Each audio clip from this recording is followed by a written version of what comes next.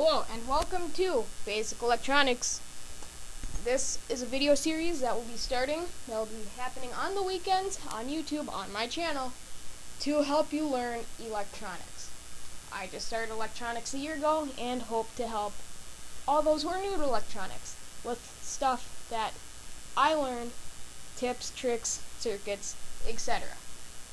So, some of the circuits that we're going to be building in this series go from anything, including door alarms, noisemakers, even simple stuff like flashing LEDs.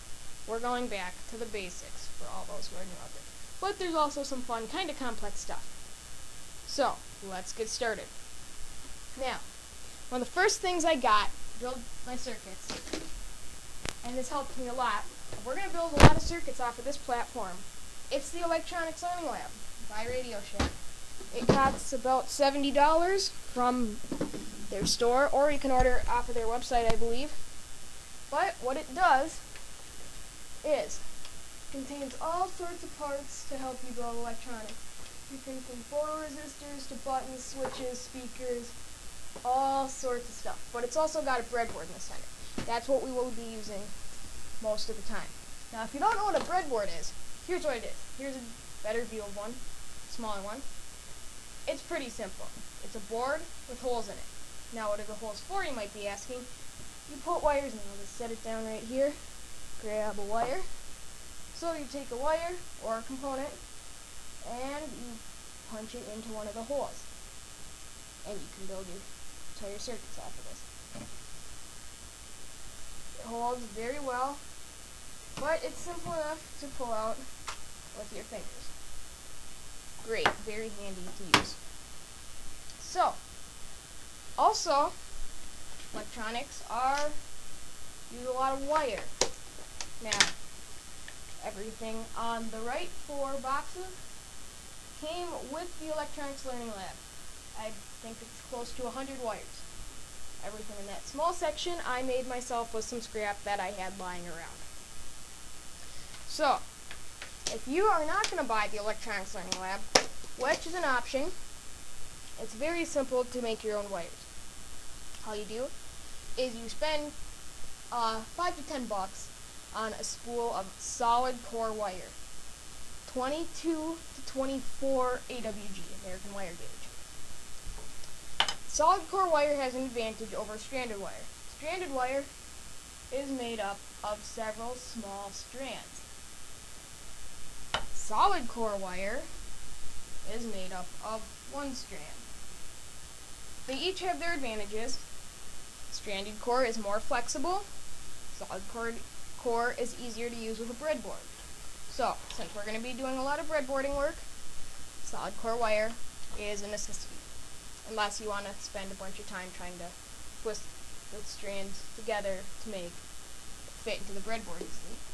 Now some components like speakers and stuff have stranded wire attached to them already to make them more flexible, and that's okay. You can work with it, but it's just hard to work with. So, components. Basically the bread and butter of electronics. You need it. You can't do anything with electricity without it.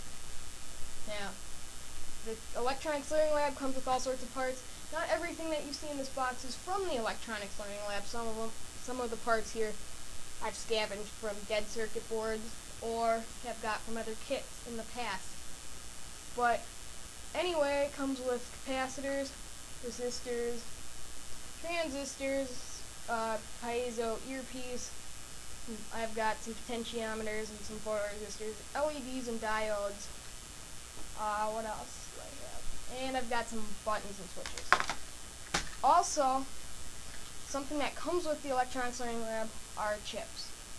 I believe there are 17 chips that come with the Electronics Learning Lab, and all of them are very handy. You can only have 17 chips. They gave you the ones that you would need. They're your necessities, basically. Oh, another quick thing on wire, alligator clips. They're very helpful. I'm not going to go into them too much.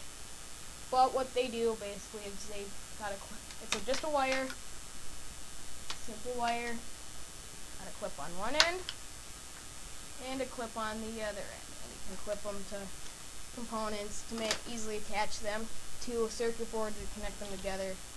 All sorts of stuff. They're very helpful. Now we're going to get into some basic tools that are needed to build these circuits.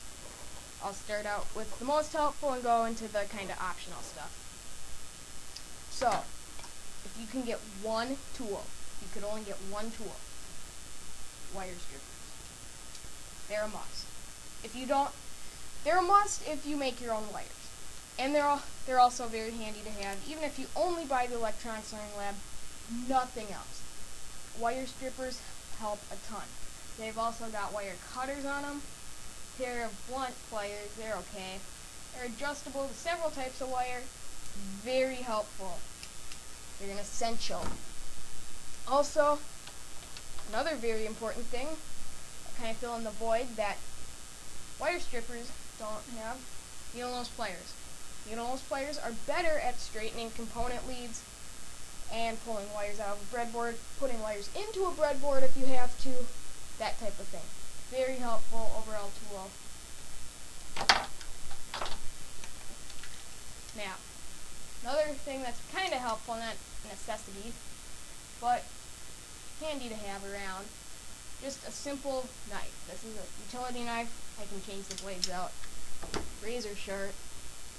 Nice to have. Wire cutters. Pretty simple.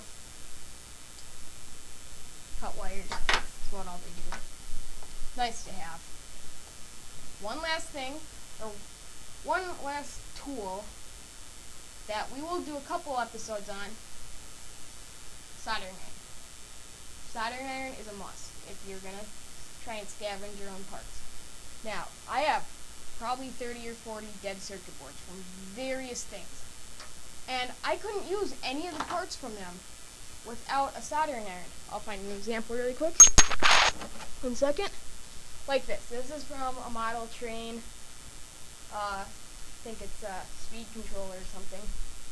Add two voltage regulators and a couple big diodes, LEDs, some jacks on it.